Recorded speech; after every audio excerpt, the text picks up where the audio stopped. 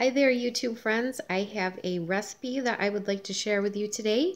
It is for peanut butter pie. What you're going to need to make this is an 8 ounce brick of cream cheese that has been softened, 1 cup of confectioner sugar, 3 quarters of a cup of creamy peanut butter, a half a cup of milk, an 8 ounce tub of Cool Whip, and a graham cracker pie crust. And I just use these uh, store-bought ones because this is a freezer pie.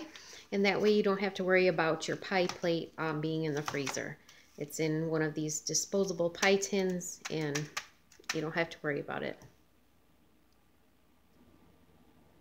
In my mixing bowl here, I have my peanut butter, my cream cheese, and my confectioner's sugar.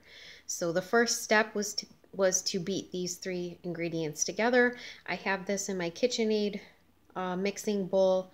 So I'm going to pause you here so you're not listening to my noisy mixer. Now that I have those three ingredients mixed together, it's now time to add my milk and then give this a mix again.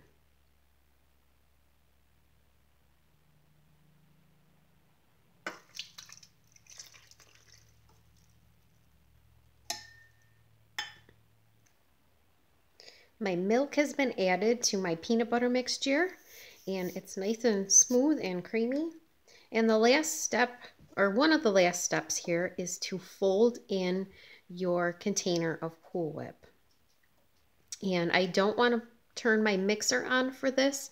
You do just want to gently fold this so that you don't break down uh, your Cool Whip. So you're just going to keep like folding and turning here very gently until this all gets incorporated. And as you can see, when I started here, I did have lower fat cream cheese, and this pie still comes out fine. It's also uh, worked out just fine if I've used the lower fat, uh, the light Cool Whip. And you can see I did have the generic Cool Whip from Aldi. It still comes out fine.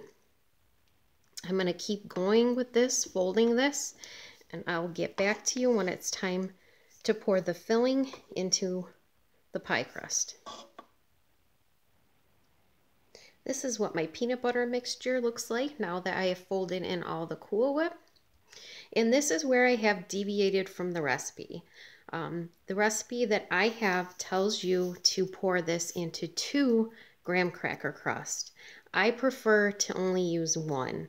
Um, I think that if you used two, you would kind of have a half-filled pie shell. Um, and I want this to be really full and I want everybody to get a really thick slice of pie. So I always only use, only use one pie crust.